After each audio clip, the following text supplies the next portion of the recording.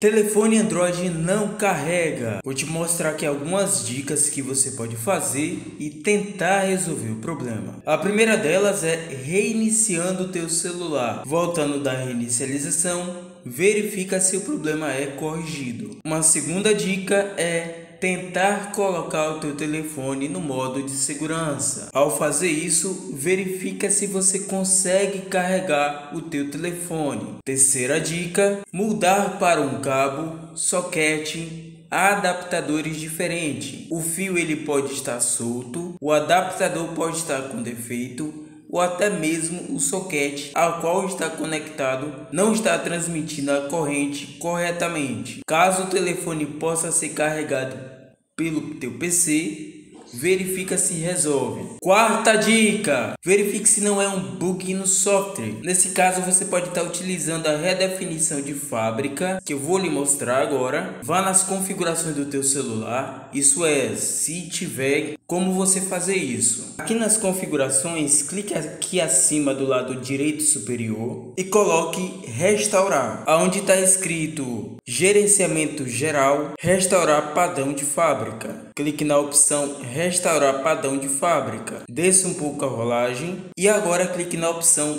redefinir. Dessa maneira vai redefinir o teu celular para os padrões de fábrica. Caso não resolva o problema, pode ser ROM, então é necessário fazer a mudança. Quinta dica: limpe a porta de carregamento. Pode ser que resolva. Caso tudo que eu te informei não tenha solucionado, pode ser necessário ir até uma assistência técnica, um técnico da tua confiança, para uma melhor avaliação.